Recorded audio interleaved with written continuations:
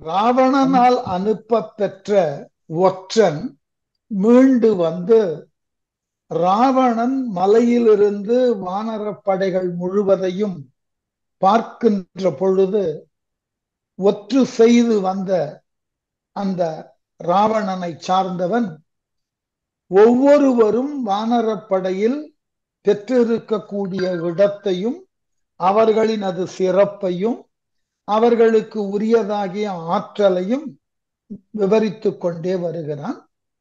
இவ்வாறு ராமன் முதலாக இறுதியாக சொல்லப்பட்ட சங்கன் வரைக்கும் எல்லாரும் யாருடைய அம்சங்களாக அவர்கள் இந்த உலகிலே தோன்றி இருக்கிறார்கள் அவர்களது தனிப்பட்ட ஆற்றல் என்ன என்பதை எல்லாம் விரிவாக எடுத்து பேசினான் ஒற்றன்.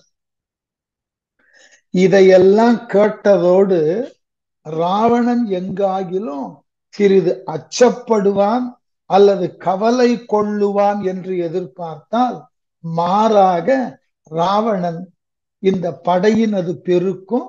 அந்த படைகள்ல இருக்கக்கூடிய வானர வீரர்களினுடைய தனித்துவத்தையும் கேட்டதன் பின் ராவணன் முதல்ல பேசின வார்த்தை இந்த வானர படைகளை இகழ்ந்து பேசுதல்.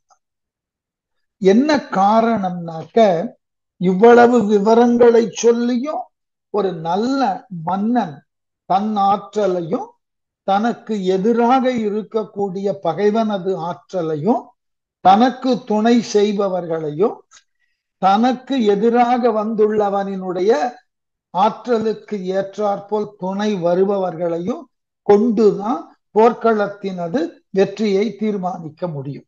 இந்த வள்ளுவரே சொல்றார் தன் வலியும் மாற்றான் வலியும் துணை வலியும் கண்டு தூக்கி செயல் அப்படின்னு அப்போ ராவணன் இந்த தவறை செய்கிறானான்னு கேட்டா ராவணன் கிட்ட இந்த சிந்தனை வருவதற்கு காரணம் அவன் அசுரர்களோடு போர் செய்தவன் தேவர்களோடு போர் செய்தவன் மானுடர்களோடு அவன் போர் செய்ததே இல்லை. ஆகவே மானுடர்களினது வீரம் என்பது தன் வீரத்தினுக்கு முன்னால் ஒன்றும் இல்லாதது என்று அவன் முடிந்த முடிவாக கொண்டிருக்கிறான். மானுடர்களை விட ஒரு படி கீழானது விலங்குகளினது வீரம். ஆகவே இந்த விலங்குகளினது வீரம் சற்று குறைவானது. அவனுக்கு ஏற்கனவே ஒரு விலங்கினால் ஊறு ஏற்பட்டிருப்பதை அறிந்த பின்னும் வாலி இந்த ராவணனை வென்றிருக்கிறான். அறிந்த பின்னும் தன்னுடைய ஆற்றலும் தான் கொண்டுள்ள வரபலமும் தன்னிடம் உள்ள அரக்கர்களினது எண்ணிக்கை எண்ணிக்கையும் இந்த போர்க்களத்தில் மிக எளிதாக ராமனையும் ராமனை சார்ந்த வானரர்களையும் வென்று விடலாம்னு அவன் எண்ணியிருக்கிறான். அதனினுடைய வெளிப்பாடாகத்தான் இனி வரக்கூடிய பாடலை அவன் தன்னுடைய உள்ள கிடக்கையை சொல்லுவதாக கம்பன் அமைத்து காட்டுகிறார். என்ன? சினம் கொள் தின்திரள் அரக்கனும் சிறுநகை செய்தான். புனம் கொள் புன்தலை குரங்கினை புகழுதி போலாம். வனங்களும் படர் வரைதொரும் திரிதரு மானின் இனங்களும் பல என் செய்யும் அரியினை என்றார் நல்ல மேற்கோள். ரொம்ப அழகான மேற்கோள். என்ன கேட்கிறான்? சினம் கொள் தின்திரள் அரக்கனும். கோபம் கொண்டான். எதனால கோபம்? தன் முன்னே தன்னை எதிர்க்க வந்த வானர படைகளையும் மானுடர்களையும் அவர்கள் சிறந்தவர்கள் ஆற்றலில் உயர்ந்தவர்கள் என்று புகழ்ந்து பேசினான் அல்லவா ஒற்றன்? அதனால வந்த கோபம். சினம் கொள் தின்திரல் அறக்கணும் வலுவான ஆற்றல் பெற்ற அரக்கனாகிய ராவணன் திருநகை செய்தான். தமிழ்ல ஒரு அழகான சொல்ல சொல்லுவோம். அமர்த்தலா சிரிக்கிறது இது பேச்சு வழக்கில் இருக்கும். எல்லாம் தெரிந்தது போல் அமர்த்தலாக சிரித்த திருநகை செய்தான். புனம் கொள் புன்தலை குரங்கினை புகழுதி போலாம். ரொம்ப அழகான வார்த்தை அது. புனம் கொள் அரக்கர். மன்னிக்கணும். வானரர் எப்படியாம் அந்த புனம் கொள்னாக்க புனம்னாக்க ஞாபகம் வைத்துக் கொள்ளுங்கள். ஏற்கனவே இந்த சொல்ல நாம பல இடங்கள்ல கையாண்டு இருக்கிறோம். புனம் என்று சொன்னால் தோட்டம் துறவுன்னு பெரும் கொல்லைன்னு பேர். நம்முடைய மரபுல சில சொற்கள் வட்டாரத்தை சார்ந்துதான் வழக்கில் இடம்பெறும். ஏற்கனவே இதை பற்றி விவாதித்திருக்கிறோம். புனம் என்று சோழ நாட்டு வழக்கத்துல சொன்னீர்கள் என்றால் தோட்டங்கள்னு அர்த்தம். தோட்டங்கள்ல விளைந்திருக்கக்கூடிய காய்களையும் கனிகளையும் உண்ணக்கூடிய சிறிய தலை உடைய குரங்குகளாம். புனம் கொள் புன்தலை குரங்கு. சிறிய தலைகளை கொண்ட குரங்குகள் அவைகளை போய் புகழுகின்றாயே நல்லது. அந்த அளவிற்கு நாம் என்ன உழைத்து விட்டோமா? என் முன்னே சாதாரணமான காயினையும் கனியினையும் கொல்லைகளிலே போய் மரத்தினுக்கு மரம் தாவி உண்ணக்கூடிய சிறிய தலைகளை கொண்டுள்ள குரங்குகளை புகழுகிறாயே. சொல்லிட்டு அடுத்த ஒரு ஓமைய சொன்னா வனங்களும் படர் வரைதொரும் காட்டிலையும் காட்டை சார்ந்து இருக்கக்கூடிய மலைகளிலும் திரிதரும் திரியக்கூடிய மானின் பல இனங்கள் மான்களினுடைய பல்வகை வகைகள். கலைமான் இருக்கு புள்ளிமான் இருக்கு கேழை இருக்கு வருடை இருக்கு இந்த மாதிரி பல மான்கள் இருக்கு. காடுகளிலும் மலைகளிலும் பல வகையான மான்கள் கூட்டம் கூட்டமாக இருக்கின்றன. அப்படி கூட்டம் கூட்டமாக தெரியக்கூடிய மான்களை கண்டு எங்காகிலும் காட்டுல இருக்கக்கூடிய சிங்கம் பயந்தது உண்டா? இத்துணை கணக்கான மான்கள் நம்மை சுற்றி இருக்கின்றனவே இந்த மான்கள் எல்லாம் நம்ம என்ன செய்துவிடும் என்று எங்காகிலும் சினம் பய சிங்கம் பயந்தது உண்டா? மானின் பல இனங்களும் அரியணை என் செய்யும் ஒரு சிங்கத்தை என்ன என்ன செய்துவிட முடியும் என்று ராவணன் இருமாப்போடு பேசி. இதுதான் ராவணனினுடைய இயல்பான குணம். தன் ஆற்றல்ல அவனுக்கு இருக்கக்கூடிய அளவிட முடியாத நம்பிக்கை. கைலாயத்தையே எடுத்தவன். அப்படிப்பட்ட ராவணன் எண்ணுகிறான் ஒரு சிங்கத்தை காட்டில் திரியக்கூடிய நூற்றுக்கணக்கான மான்கள் என்ன செய்து விட முடியும்? அதுபோல் நான் சிங்கம் போன்றவன். என்னை சுற்றி ஆயிரக்கணக்கான கோடிக்கணக்கான இந்த வானரங்கள் வந்தாலும் என்னை அவர்களால் என்ன செய்து விட முடியும்? எதற்காக என் முன்னே வீணாக அந்த வானரர்களை புகழுகிறாய் என்று சற்று கோபத்தோடு முனிந்தான் அந்த ஒற்றனை அடுத்து பார்க்கக்கூடியது மகுட பங்கப்படலம். இந்த மகுட பங்கப்படலம்ன்றது எங்கு தோன்றுகிறதுன்னா இந்த பகுதியில தான் ராவணனை ஏதாகிலும் ஒரு விதத்துல அவன் செய்தது தவறு என்று அவன் சிந்திப்பதற்கு ஒரு வாய்ப்பு கொடுக்க வேண்டும் என்று ராமன் எண்ணுகிறார். இந்த ராமனினுடைய செயல்பாட்டை நீங்க தொடர்ந்து கவனித்தீர்கள் என்றால் ஒன்று புரியும். சீதை பிரிந்ததற்காக வருந்துகிறான். சீதை பிரிவு அவனை மிகப்பெரிய அளவிலே வருத்துகிறது. அதுல மாற்று சிந்தனைக்கு இடமே இல்லை. ஆனால் சீதை பிரிதற்கு காரணமான சீதையை அபகரித்து சென்ற ராவணனை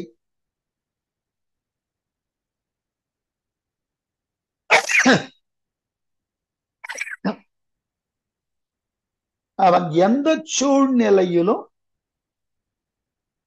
தவறான முனையில் முறையில் அணுகுதல் கூடாது என்பதில் தெளிவாக இருக்கு.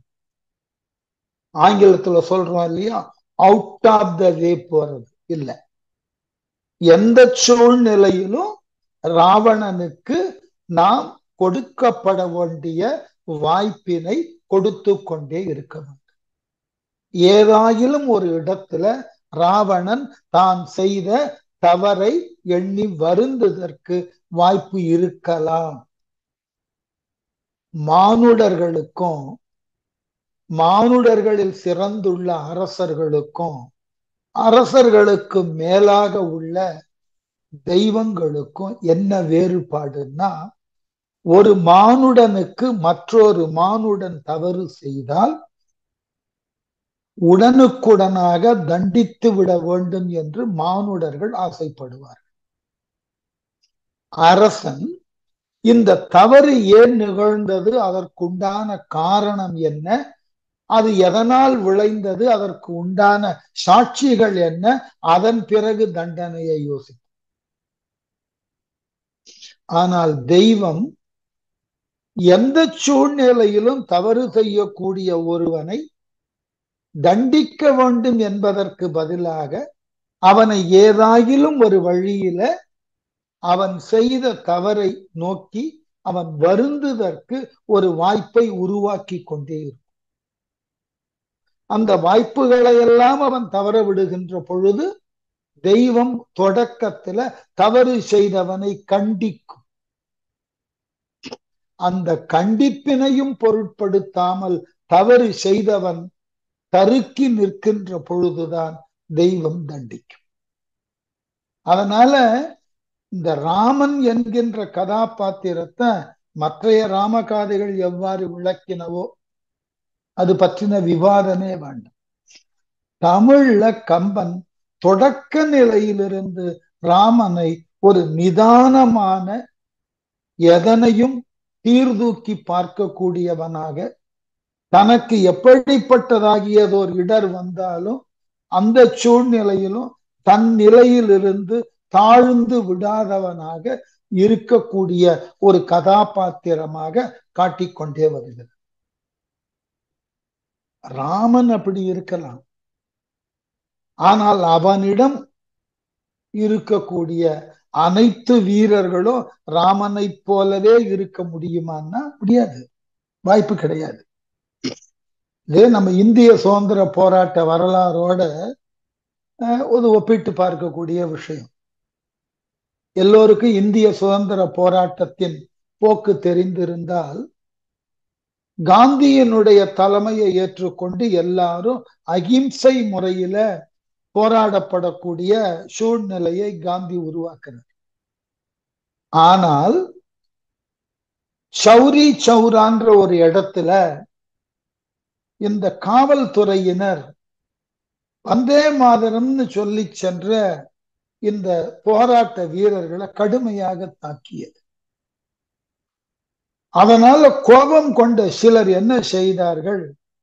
அந்த காவல் நிலையத்தின் உள்ளே நுழைந்து அதை அடித்து நொறுக்கி அங்கிருந்த காவலர்களையும் இவர்கள் அடித்தார்கள்.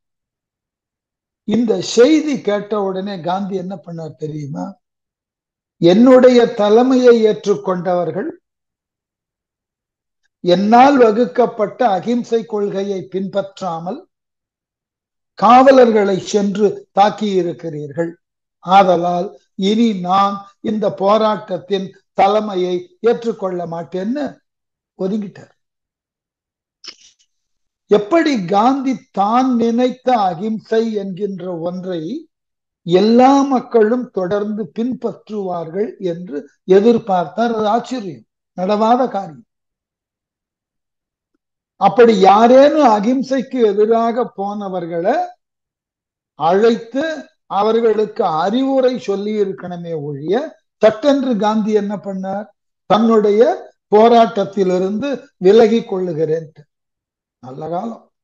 அன்னைக்கு சி ஆர் தாஸ் இருந்ததுனால இந்த போராட்டத்தை மீண்டும் பொறுப்போடு ஒன்றுபடுத்தி செயல்படுத்துவதற்கு முன் வந்தார்கள். அப்புறம் காந்தியிடம் வேண்டினார்கள். அப்புறம் காந்தியும் மீண்டும் தலைமை பொறுப்பை ஏற்றுக்கொள்ள சம்மதித்தார்கள் என்பது வரலாறு.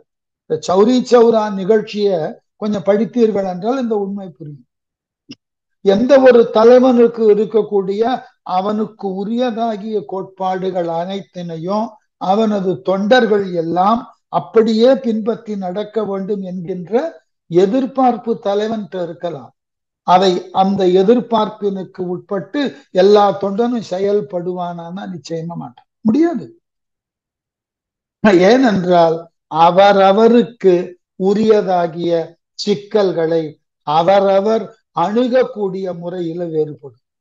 அந்த நிலையில இந்த ராவணனது மகுடத்தை பங்கப்படுத்தி விட்டு வருகிறான் அங்கர். அதனால இந்த பங்கப்படுத்துதல் என்பது இங்கு பேசப்பட்ட ஒரு செய்தி. பங்கம்னா தெரியும். தகுதியிலிருந்து ஒருவனை குறைத்து மதிப்பிட்டு அந்த குறைவான மதிப்பீட்டுக்கு அவனை உட்படுத்துதல். இந்த சொல்ல நிறைய கேட்டிருப்போம். கர்வ பங்கம் அந்த மாதிரி. வீடனனை ராமன் அரக்கர்களை பற்றி அறிவிக்க சொல்லுகிறான் ஏன்னா வீடனனுக்குத்தான் தெரியுதான் முதல் பாட்டு இதுல? எப்படியா? என்னும் வேலையின் ராவணர்க்கு இளவலை ராமன் கன்னிமா மதில் நகர் நின்று நம் வழி காண்பான் முன்னி வானினும் மூடி நின்றார்களை முறையால் இன்ன நாமத்தர் இணையர் என்று இயம்புதி என்றான். எப்ப ராவணன் தன்னுடைய படைத்தலைவர்கள் ஏனைய பிற சிறந்த வீரர்கள் புடைசூழ மலையிலிருந்து வானர படையை பார்த்தானோ?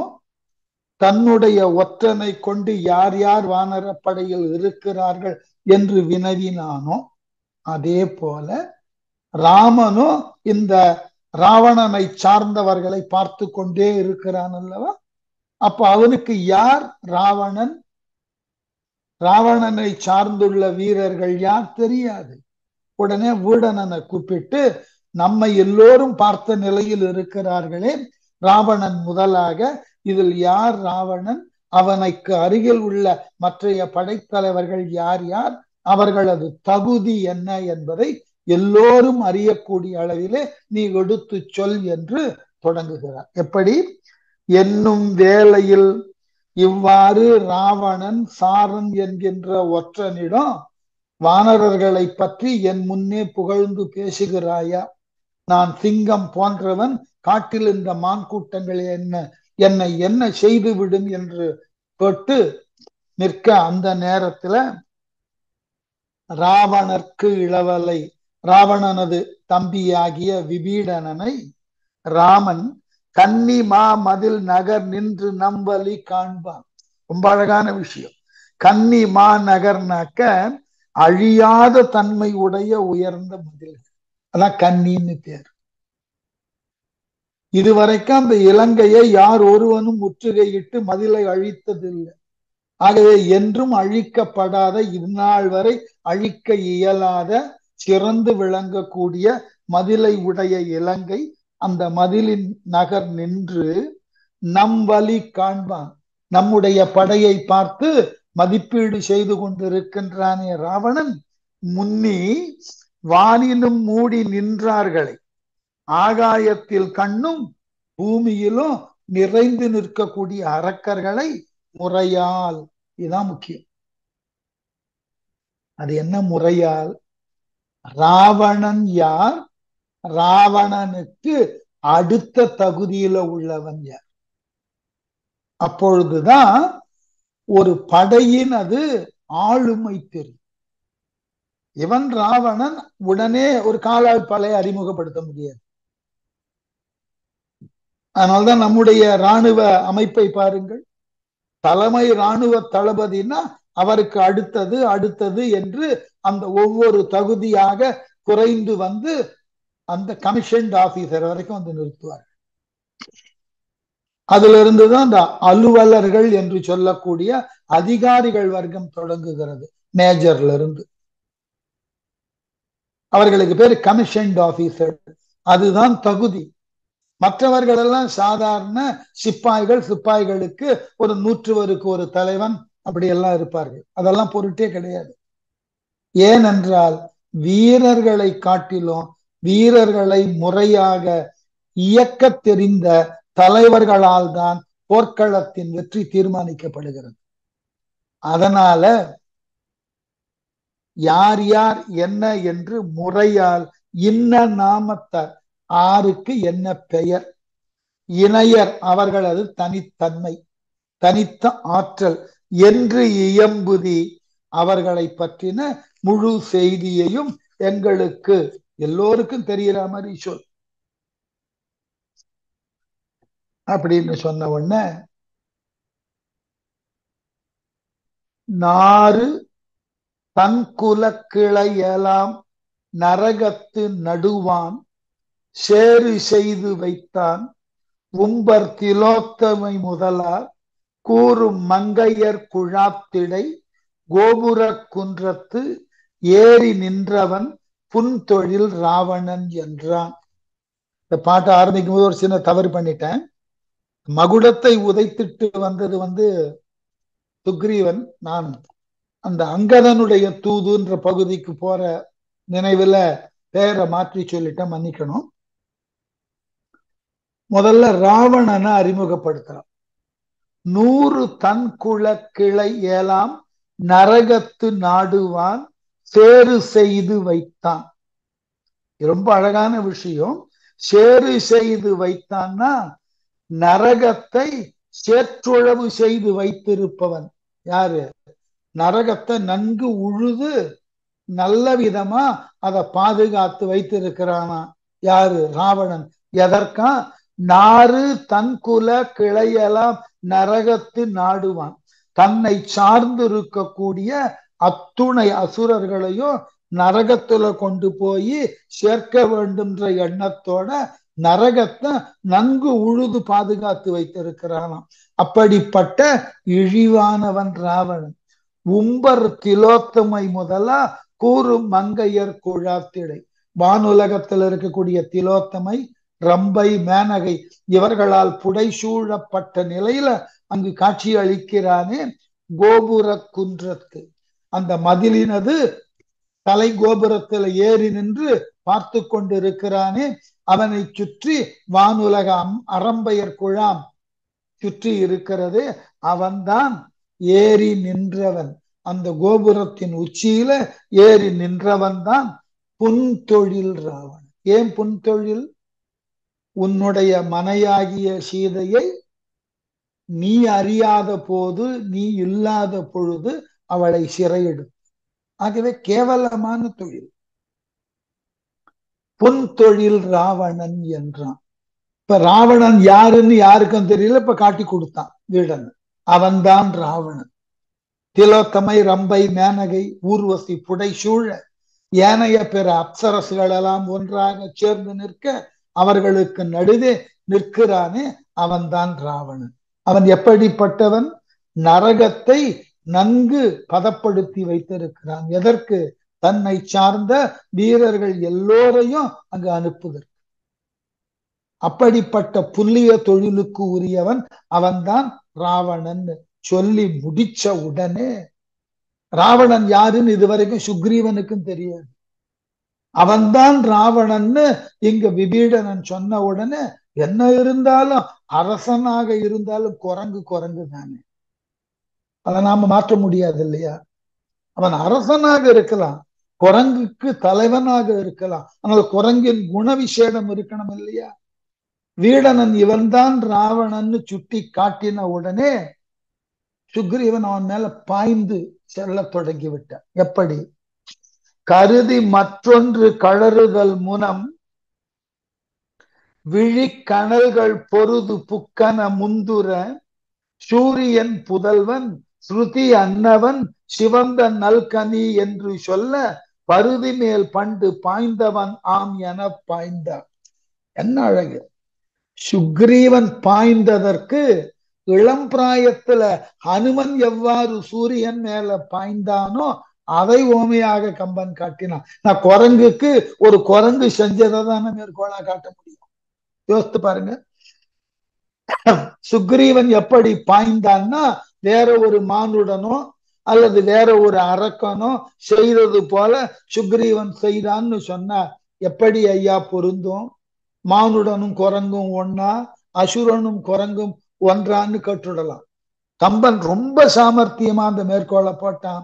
பழைய காலத்துல பண்டு ரொம்ப காலத்துக்கு முன்னாடி கிழக்கே உரிக்கக்கூடிய சூரியனை உண்ணுதற்கு ஒரு பழம் என்று அதை எடுத்து உண்ண வேண்டும்னு சூரியன் மேல பாய்ந்தான் அல்லவா?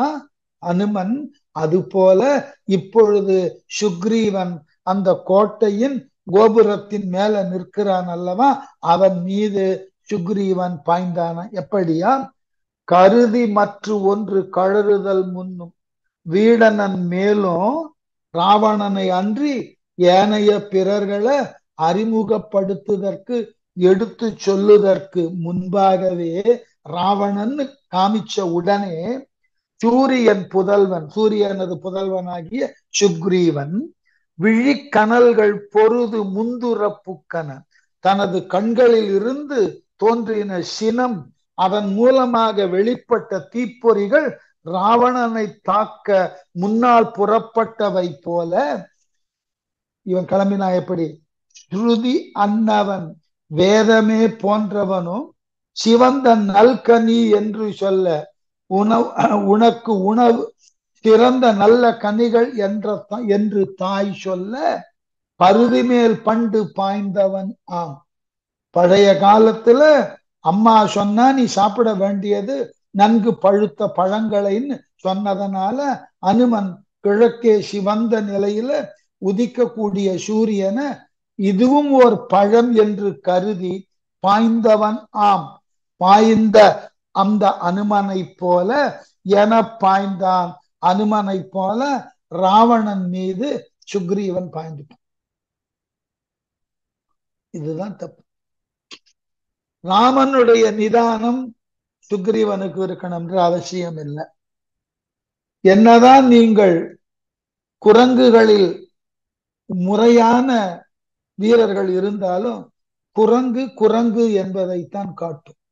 கிராமங்கள்ல பழமொழி உண்டு. குரங்கு எப்படின்னாக்க முடிந்தால் பேனையும் பார்க்கும் இல்லை என்றால் எட்டி காதையும் கடிக்கும்னுவார்கள். நான் பேன் பார்ப்பதில் குரங்கு ரொம்ப நாகரீகமானது என்று பல கிராமங்கள்ல குரங்குகளை இதற்குன்னு பயன்படுத்துகிறார்கள். அது அழகாக பேன் பார்த்தாலும் பார்க்கும். இல்லை என்றால் நம்முடைய காதை எட்டி கடித்தாலும் கடிக்கும். அது என்ன செய்யும்னு சொல்ல முடியாது. அது போல மன்னன் தான் பெரிய வானர படைகளுக்கு தலைவன் தான் நல்ல விதமான ஞானம் உடையவன் தான் சூரியனது மகன் தான். அடிப்படை குரங்காச்சு. என்ன பண்ண முடியும்? அவனுடைய செயலை அவங்களால மாற்ற முடியாது. ஆகவே இவன் தான் ராவணன்னு சொல்லி முடிச்ச உடனே பாஞ்சிட்டான். எப்படியா? சுதயத்து ஓங்கிய சுவேலத்தின் உச்சியை துறந்து சிதைய திரள் ராவண குன்றிடை சென்றான். ததைய செங்கரம் பரப்பிய தன் பெரும் தாதை உதய குன்றில் நின்று உலகு குன்றில் பாய்ந்தவன் ஒத்தான் ரொம்ப அழகு. எப்படியா? சுதையத்து ஓங்கிய சுதைனா வானத்து மீன் மண்டலம்னு நட்சத்திரங்களோடு கூடி இருக்கக்கூடிய வானவழிய சுதைன்னு சொல்லும் மரபு உண்டு. வானத்து மீன் மண்டலம் வரை உயர்ந்தோங்கி உள்ள சுதையத்து ஓங்கிய வானளாரி வளர்ந்து இருக்கக்கூடிய அந்த மதிலினது மேல் கோபுரம். சுவேலத்தின் உச்சியை துறந்து சுவேல மலையின் உச்சியை விட்டு சுக்ரீவன் எப்படி பாய்ந்தானாம்? தின்திரள் சிதைய பேராற்றலெல்லாம் சிதையும் மாறு ராவண குன்றிடை சென்றான். ராவணன் என்கின்ற மலை போல நிற்கக்கூடிய ராவணன் மீது பாய்ந்தான் சுக்ரீவன். செங்கரம் கதை பரப்பிய தன் செந்நிற கிரணங்களை அடர்த்தியாக பரவச் செய்த தன் பெருந்தாதை தன்னுடைய பெருமைக்கு உரிய தந்தையாகிய சூரியன் உதய குன்றின் நின்று தான் உதிக்கும் உதயகிரி எனும் மலையிலிருந்து உகு குன்றில் பாய்ந்தவன் ஒத்தான். தான் மறையும் அத்தமானகிரிக்கு பாய்ந்தவனை போல். சூரியன் எவ்வாறு தோன்றி மறைவானோ அதே போல இந்த சுக்ரீவனும் ராவணனை நோக்கி வேகமாக பாய்ந்து எழுந்து ராவணன் நிற்கக்கூடிய அந்த இடத்திற்கு போய் நின்றான். பள்ளம் போய் புகும் புனல் என படியிடை படிந்து தள்ளும் பொன்கிரி சலிப்புற கோபுரம் சார்ந்தான்.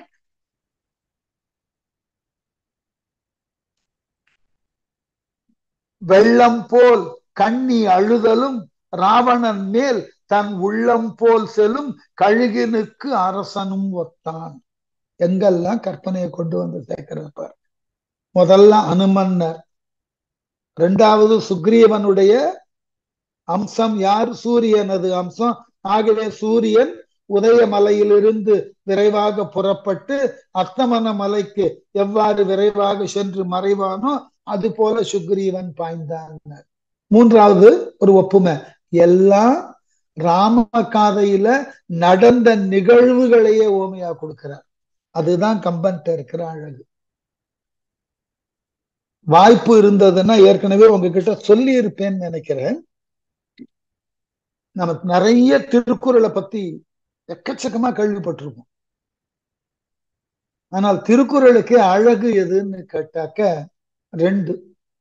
ஒன்று பரிமேல் அழகறினது உரை ஒரு அற்புதமான அழகு. மிக அழகான நயங்களோடு விளக்கின உரை அது. அதனால்தான் பிற்காலத்துல வந்து ஒரு புலவன் எழுதினா தமிழுக்கு சிறப்பு எதுன்னா தெள்ளு பழ் பரிமேல் அழகன் உரைன்னு இலக்கியங்கள் மட்டுமல்ல ஒரு உரை கூட அவ்வளவு அழகை கொண்டு இருக்கிறதுன்னு எழுதினான். ஒன்று. மற்றொன்று இந்த திருக்குறளை மிக அழகாக ஆய்வு செய்து நுண்பொருள் மாலைன்னு ஒரு நூல் எழுதினார். அதை பத்தி சொல்லியிருக்கேன். சாமுண்டி தேவநாயக்கரும் ஐயனார் இதனாருக்கு விளக்கம் எழுதினது போல இதுக்கு எழுதியிருக்க நுண்பொருள் மாலைன்னு என்ன பண்ணுவேன் இந்த நுண்பொருள் மாலையில அழகே என்னன்னா திருக்குறளுக்கு உண்டான சிக்கலை தீர்ப்பதற்கு ஏனைய பிற அதிகாரங்கள்ல இருக்கக்கூடிய திருக்குறளையே மேற்கொள்ள காட்டி விளக்குவார். இத காட்டிலும் சிறந்த நூல் எதுவுமே இருக்காது.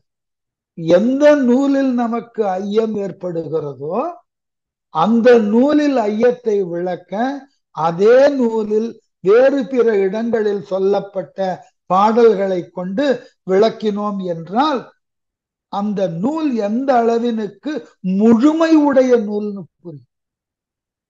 திருக்குறளுக்கு திருக்குறளே மேற்கோளாக நிற்கும். எவ்வளவு பெரிய விஷயம். அது போல கம்பனை எல்லாம் படிச்சிருப்பான் இல்லையா? திருக்குறளை எல்லாம் முழுசா படிச்சிருப்பான் இல்லையா?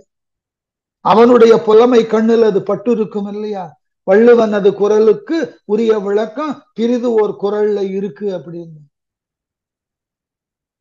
அந்த பாதிப்பு அவங்கிட்ட வந்ததுனால தான் இப்பொழுது சுக்ரீவன் எவ்வாறு பாய்ந்தான் என்பதற்கு ராம காதையில இதுகாரும் பார்த்த நிகழ்ச்சிகளையே சான்றாக எடுத்து காட்டி இது போல் அனுமன் போல பாய்ந்தான்.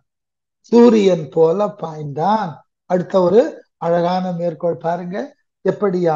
பள்ளம் போய் புகும் புனல் என பள்ளமான இடத்தினை நோக்கி மேட்டில் இருக்கக்கூடிய நீர் விரைவாக சென்று பாய்வது போல படியடை படிந்து தள்ளும் பொற்கிரி பூமியின் மீது சாயுமாறு சாய்ந்து தள்ளப்பட்ட திரிகூட மலையில் அப்படி சாஞ்சா மாதிரி இருக்கும் திரிகூட மலை இலங்கையில போய் பார்த்தா தெரியும். சலிப்புற கோபுரம் சார்ந்தான்.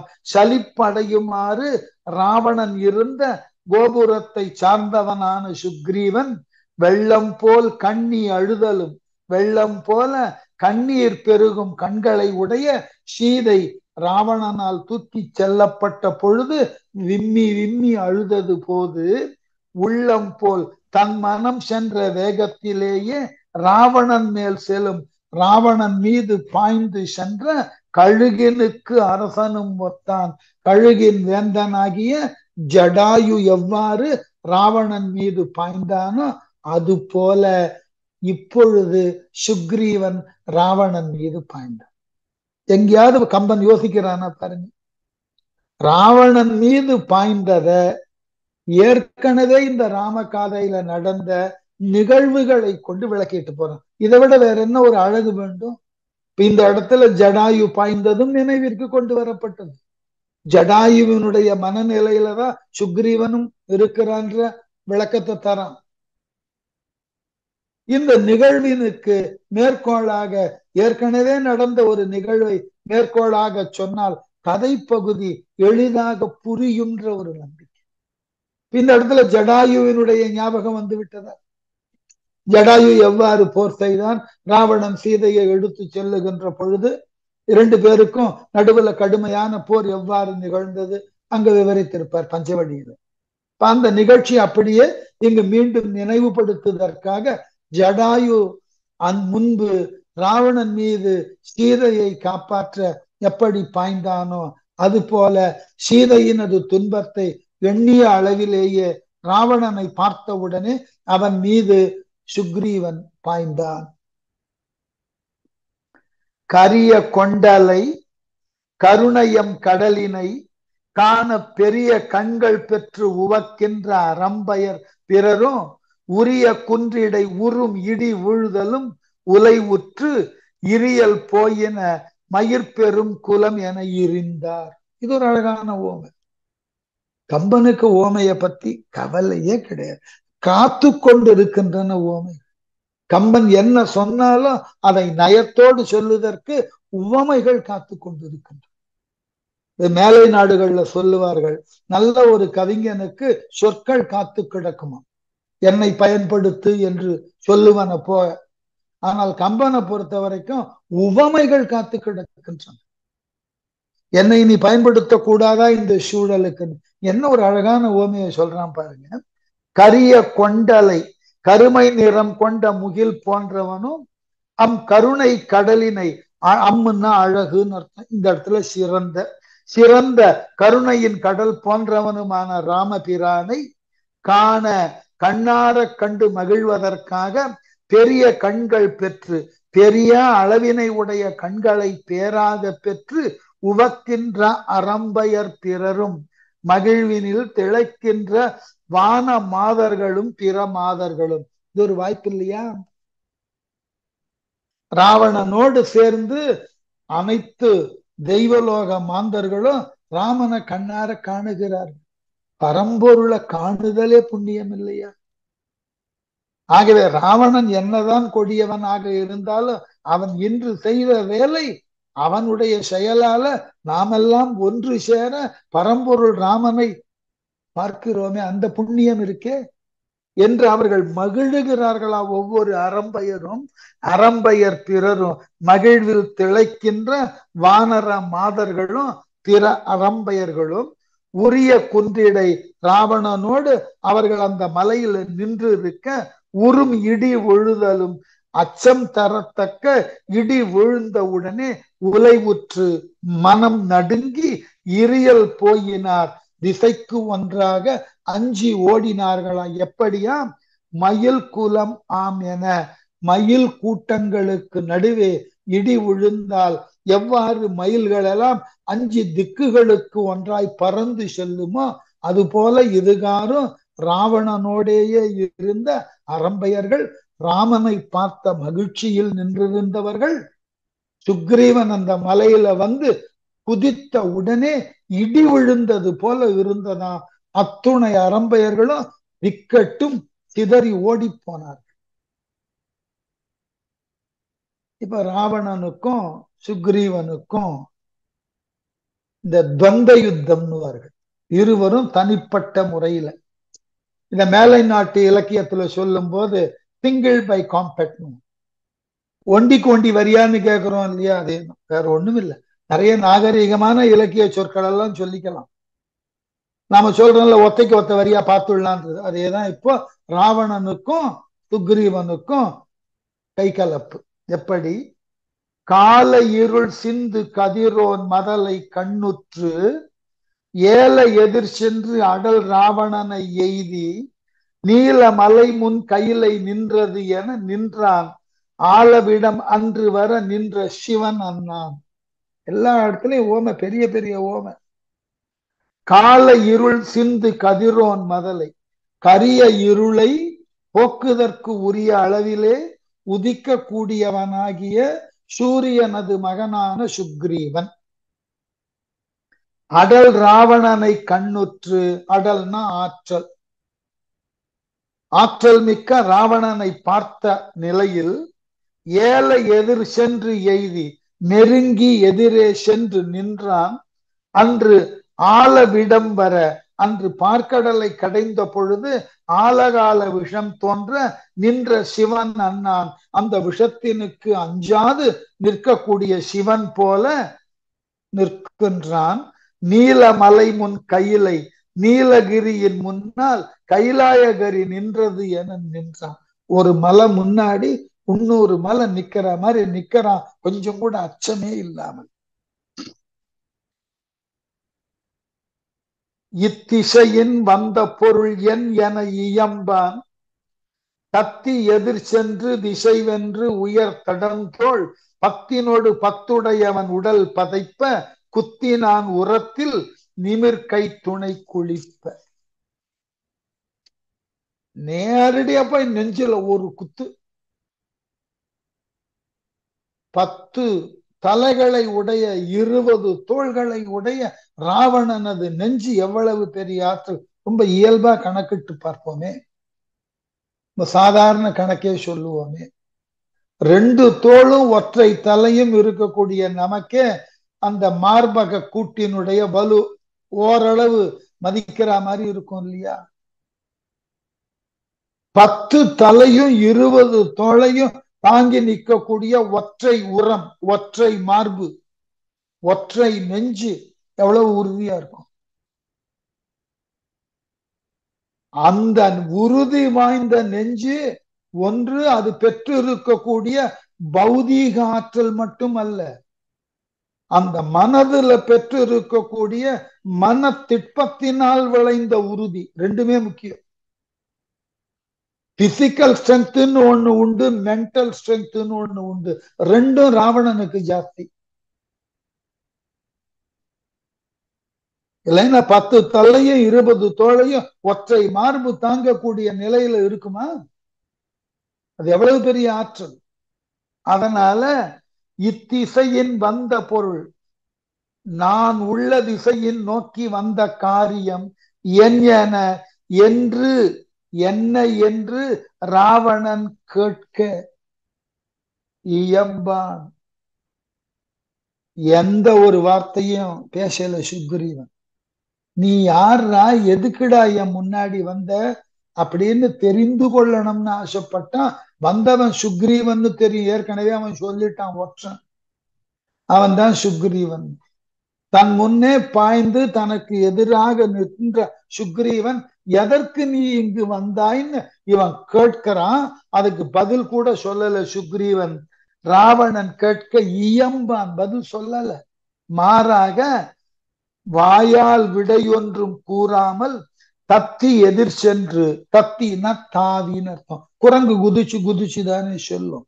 தாவி எதிர் சென்று ராவணனுக்கு எதிராக நின்று திசை வென்று உயர் தடம் தோல் எண் திசைகளையும் வென்று பெருமிதத்தால் உயர்ந்திருக்கக்கூடிய அகன்ற தோள்கள் பத்தினோடு பத்துடையவன் இருபது தோள்கள் பத்தோட பத்து இருபது தோள்களை உடையவனாகிய ராவணனுடைய உடல் பதைப்ப உடல் நடுங்குமாறு நிமிர் கைத்துணை குளிப்ப உயர்த்திய தன் இரு கைகளையும் நன்கு பதியுமாறு உரத்தில் குத்தினான் மார்பில் குத்தினான். அது எப்படி ரெண்டு கையும் இப்படி வச்சு குத்தினானா? இல்ல. நம்ம தடகள விளையாட்டுல போய் பார்த்தீர்கள் என்றால் ஒரு குறிப்பிட்ட விளையாட்டை கவனித்து பாருங்கள் தெரியும். ரெண்டு கைகளையும் சேர்த்து வைத்திருப்பார்கள். எதுக்குன்னா இந்த பெண்டத்தலான் டெக்கத்தலான்ற பல போட்டிகள் நடக்கும் இல்லையா? ஐந்து விதமான போட்டிகள் சேர்ந்தது ஒரு யூனிட் அதே மாதிரி பத்து விதமான போட்டிகள் சேர்ந்தது ஒரு யூனிட் அதுல அஞ்சு ஓட்ட பந்தயமா இருக்கும் அஞ்சு தடகளமா இருக்கும். டிஸ்கஸ் ஜாவலிங் ஷார்ட் போட் அதுல ஒண்ணு ஹேமர் த்ரோன்னு ஒண்ணு இருக்கும். இந்த சுத்திய பிடிச்சிருக்கிற அழகு ரெண்டு கையில. இந்த மாதிரி ரெண்டு கையையும் தேர்த்து கொண்டு சுற்றிய நிலையில ராவணன் மார்ப போய் குத்தினான். ரெண்டு கைகளால். சுக்ரீவனது ஆற்றலுக்கு வேறு எவனாவது அந்த அடிய வாங்கி இருந்தால் ராவணனை தவிர அதோடைய ராமாயணம் முடிஞ்சு போச்சு. ஆனால் அடி வாங்கினவன் ராவணன் சாதாரண ஆள் அல்ல. என்ன ஆயிற்றான்? திருகிய சினத்தோடு செருத்து எரி விழித்தான். ஒருபது திசைக்கணும் ஒலித்த ஒலி ஒலி ஒலி ஒப்ப தருவனம் என புடை தழைத்து உயர் தடக்கை இருபதும் எடுத்து உறும் இடித்தன அடித்தான். இந்த அடிய வாங்கி அதற்கு நேர் எதிராக அவன் அடிச்சான். ரெண்டு விஷயம். எதிரி நம்ம தாக்கறான் தாக்கும் போது நாம நிலை குலையாமல் நிற்கணும். நிலை குலையாமல் நிற்பதற்கு ஒரு ஆற்றல் வேண்டும். அதனோடு அவ்வாறு தாக்கியவனை எதிர்த்து உடனாக தாக்குதற்கு உடல்ல வேகம் வேணும். அஜில்ன்றான்ல பழியிருந்து எதிர்த்து தாக்கணும். யோசிக்க கூடாது போர்க்களத்துல ரொம்ப முக்கியமான விஷயம். எதிரி தாக்குவதை தடுத்து உடனுக்குடனாக அவனை தாக்கணும். அப்பதான் நீங்க வீரன் அப்பதான் இந்த போர்க்களத்தை உங்கள் வசமாக வைத்துக் கொள்ள முடியும். ராவணன் என்ன பண்ணானா திருகிய சினத்தோடு ராவணன் நேர்மையற்ற கோபத்தோடு ஏன்னா தான் செஞ்ச தப்புக்குத்தான் இந்த சுக்ரீவன் தன்னை தண்டிக்கிறான்னு அவனுக்கு தெரியணும் அது தெரியலையா? செருத்து எரி விழித்தான். பகை உணர்வோடு தீப்பொறி சிந்தக்கூடிய விழிகளோடு சுக்ரீவனை பார்த்தான். தருவனம் என புடை தழைத்து மரங்கள் அடர்ந்த காடுகள் போல பக்கமெல்லாம் தழைத்து விழித்து உயர் தடக்கை உயர்ந்து அகன்ற கைகள் இருபதும் எடுத்து இருபதையும் தூக்கி உறும் இடித்தன ஒலித்த ஒலி ஒப்ப இடி இடித்ததாக பத்து திசைகளிலும் எதிரொலித்த ஒலியினை போல் அடித்தான். பேரொலி அழக்கூடிய அளவுல இவன் சுக்ரீவனை அடிச்சான். சுக்ரீவன் ரெண்டு கையில் அடிச்சான். ராவணன் இருபது கையில் அடிச்சான். ஆரம்பிச்சாச்சு யுத்தம் ரெண்டு பேருக்குள்ள. அடித்த விரல் பட்ட உடலத்து உழி ரத்தம் பொடித்து எழ உருக்கி எதிர்ப்புக்கு உடல் பொருந்தி கடுத்த விசையின் கடிது எழுந்து கதிர் வேளான் முடித்தலைகள் பத்தினும் முகத்தினும் உதைத்தான். இத போர்க்கள மரபுல தவறுன்னு சொல்லுகிறார். மகாபாரதத்துல ஒரு இடம். ரெண்டு இடம்னு கூட சொல்லலாம். ஒன்று துச்சாதனனை பீமன் போர்க்களத்துல கொன்று அங்கு அவனது மார்புல துச்சாதனன் மார்புல கசியக்கூடிய ரத்தத்தை எடுத்து குடித்தான். அதுவே தவறு. செய்யக்கூடாது. அதனோடு நில்லாமல் அந்த துரியோ மன்னிக்கணும் துச்சாதனன் உடல் மீது காலால மிதித்து குதித்தான். இத தப்பு என்று வியாசர் எழுதுகிறார். நீங்க என்னதான் போர்க்களம் என்று வந்து விட்டாலும் போர்க்களத்துல போர் செய்வதற்கு என்று வரைமுறைகள் உண்டு. அது பெரிய பகையா இருக்கலாம். ஆனால் பகையை நீங்கள் தீர்த்து கொள்ள போர்க்களத்தை நாடுகிறீர்கள் என்றால் போர்க்கள விதிகளுக்கு உட்பட்டுத்தான் போற செய்யணும். பீமன் எவ்வாறு துச்சாதனன் உடம்புல ஏறி குதித்து மிதித்ததை தவறு என்கின்றார் வியாசர். அதே போல துரியோதனனது தொடையை பிளந்து அவனுக்கு மரணத்தை காட்டுகிறான் பீமன். கதை யுத்தத்துல வயிற்றுக்கு கீழே அடிக்கக்கூடாது. இது கதை யுத்தத்தினுடைய போர்க்கள நெறி. ஆனால் பீமன் என்ன செய்கிறான்? துரியோதனனது தொடையில கதையை பயன்படுத்தி விடுகிறான். இது என்ன சிக்கல் அப்படின்னா இதற்கு ரெண்டு விளக்கம் கொடுத்தார்கள் அந்த இலக்கியத்துல. ஒரு முறை தவறுதல் தான் தப்பு தான் செஞ்சிருக்க கூடாது. ஏன் செய்ய வேண்டிய சூழல் ஏற்பட்டு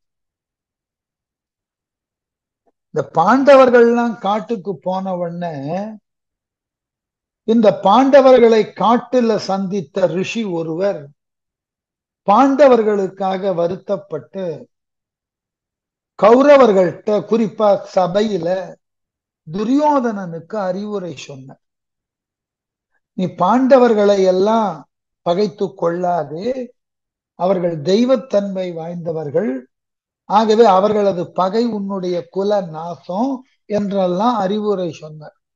அதை எதையும் பொருட்படுத்தாமல் துரியோதனன் திரித்தவாறு தொடையை தட்டி கொண்டே கேட்டான். இதனால கோபம் அடைந்த அந்த ரிஷி அவனுக்கு சாபம் கொடுத்தார். என்னுடைய அறிவுரையை கேட்காமல் என்னை ஏளனம் செய்வது போல தொடைய தட்டி கொண்டா இருக்கிறாய். இந்த முடிவுல அந்த துடை பிளக்கப்பட்டு நீ மரணத்தை சந்திப்பாய்னு சாபம் கொடுத்துட்டு போயிட்ட. இது ஒண்ணு. மற்றொரு கிளைக்கதையில சொல்லப்பட்டு இருக்கிறது இது மூலக்கதையில இருந்ததாக எனக்கு நினைவில்லை. பனாரசி எடிஷன்லயும் இல்லை பூனே எடிஷன்லயும் இல்லை. இது எங்கோ இந்த பாரதத்தின் ஒரு கிளைக்கதையில உருவாக்கப்பட்டிருக்க வேண்டும். அதாவது திருமணம் ஆன நாள் தொட்டு திருதராஷ்டிரன் மனைவியான காந்தாரி தன் கண்ணை கட்டி கொண்டே இருப்பார் அவளுக்கு ஒரு ஆற்றல் உண்டு.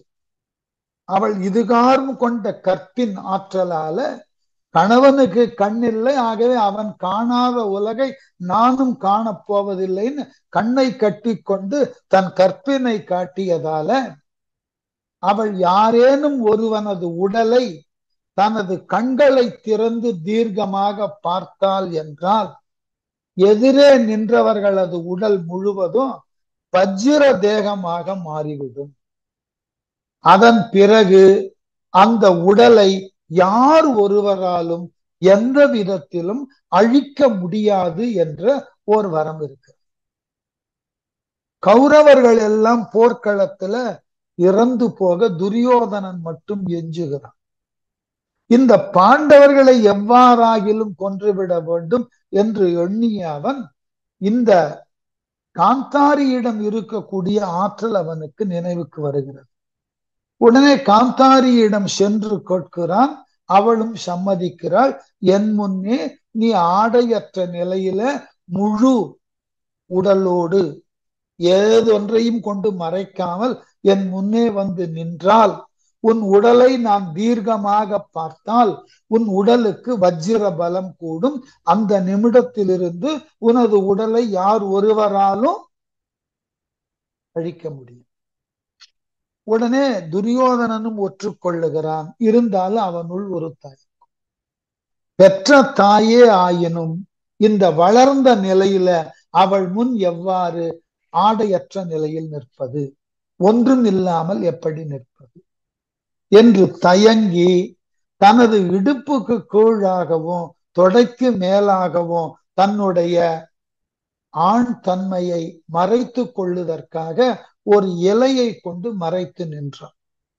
அந்த இடம் தவிர மற்றைய இடங்களெல்லாம் வஜ்ரத்தின் ஆற்றலை பெற மற்ற இடங்கள்ல என்ன அடித்தாலும் அவனுக்கு கொண்டாங்க இதை தெரிந்து கொண்ட பீமன் அவனை நாபியின் கீழாக தொடையில் அடித்து மரணத்தை தந்தான்.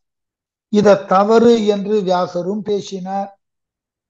கண்ணனினுடைய சகோதரனாகிய பலராமன் அவருடைய சிஷ்யன் துரியோதன் தன் சிஷ்யன் துரியோதனனை முறையற்ற முறையில இந்த பீமன் கதை யுத்தத்தில கொன்றான்னு அவரும் கோபப்பட்டார். அப்புறம் அவர்களுக்கெல்லாம் சமாதானம் சொல்லப்பட்டது. ஏன் இவ்வளவு விரிவா சொன்னேன்னா செய்வது போர்தான். இருந்தாலும் அந்த போரினை நிகழ்த்துதலில் ஒரு நேர்மை இருக்கணும். வரம்பு மீறாத தன்மை இருக்கணும். இத முதல்ல புரிந்து கொள்ள இந்த வரம்பை மீறுகின்ற பொழுதுதான் போர் என்பது போர்க்கள நியதிகளிலிருந்து வேறுபட்டு ஒரு தவறான செயல்பாட்டுல வலியான் நெளியவனை தாக்குதலும் இன்றைக்கு அதெல்லாம் நடைமுறையில சரி என்று கொல்லப்பட்டு விட்டது. ஆனால் அந்த காலத்துல அப்படி இல்லை. அதை சொல்றதுக்கு தான் எப்படி சொல்றான்? அடித்த விரல் பட்ட உடலத்து உழி ரத்தம் ராவணன் அடித்த விரல் பட்ட உடம்பிலிருந்து ரத்தம் பொடித்து எழ ரத்தம் துளி துளியாய் பொங்கி சிந்த உருக்கி எதிர்ப்புக்கு சினம் பொங்கி ராவணன் முன்னே சென்று உடல் பொருந்தி அவனுடன் தன் உடலை பூட்டி கடுத்த விசையில் மிக வேகத்துடன் கடிது எழும்பி விரைந்து மேல் எழுந்து கதிர் வேளான் ஒளி மிகுந்த வேலேந்திய ராவணனுடைய முடித்தலைகள் பத்தினும் மகுடம் அணிந்த தலைகள் பத்தின் மேலும் முகத்தினும் அவனது முகங்கள் பத்தின் மீது உதைத்தான். சுக்ரீவன் கால் கொண்டு உதைத்தான். இது செய்யக்கூடாது. சரி மானுட வீரனாக இருந்தால் செய்யக்கூடாது. இதை செய்தது ஒரு வானரம். என்ன பண்ணுவது? இது ஒரு தவறு. எதிரிகளை போர்க்களத்துல அவமானப்படுத்த வீரத்தை கொண்டு என்ன வேண்டுமானாலும் செய்யலாம். அவர்களை செயலற்று போக செய்யலாம். கீழே விழச் செய்யலாம். மயக்கமுறச் செய்யலாம். தொற்றோட செய்யலாம். இதெல்லாம் செய்யலாம். அவமானப்படுத்த ஏன்னா அது வீரத்திற்கு உண்டான இலக்கணம் அன்று.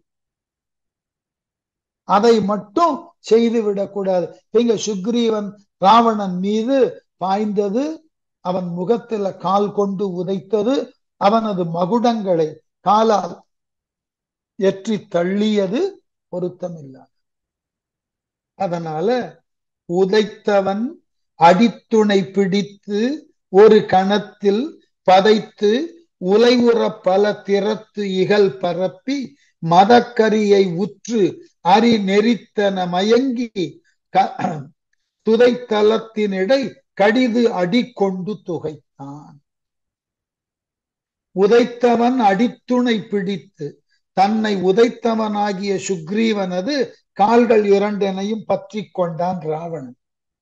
ஒரு கணத்தில் ஒரு வினாடி பொழுதில் பதைத்து உலைவுற சுக்ரீவன் துடிதுடித்து வருந்த கூடிய அளவுல பல திறத்து இகல் பரப்பி பல்வேறு வகைப்பட்ட மற்போரின் வலிமைகளை எல்லாம் வெளிப்படுத்தி அரி மதகரியை உற்று நெறித்து என சிங்கம் மதையானையை நெருக்கி அடிப்பது போல மயக்கி மூர்ச்சையடைய செய்து சுதைத்தலனிடை சுண்ணாம்பு தீற்றப்பட்ட தரை நிலத்திலே இட்டு கடிது அடிகொடு விரைவாக கால் கொண்டு துகைத்தான் ராவணன் தேய்த்தான். அப்படி காலை தன்னை உதச்ச காலை பிடிச்சான் கரகரன்னு சுத்தினா பூமியில வேகமா அடிச்சான் அடிச்ச வேகத்தோட காலால சுக்ரீவனை போட்டு மிதிக்க ஆரம்பிச்சு விலங்க அப்படித்தான் பண்ண முடியும். ஒரு விலங்க கொல்லணும்னு முடிவு பண்ணியாச்சுன்னா அதுக்கெல்லாம் சட்டம் எல்லாம் பார்க்க முடியாது. விலங்கா இருக்கக்கூடிய சுக்ரீவன் முறையற்ற முறையில ஒரு செயலை செஞ்சான்.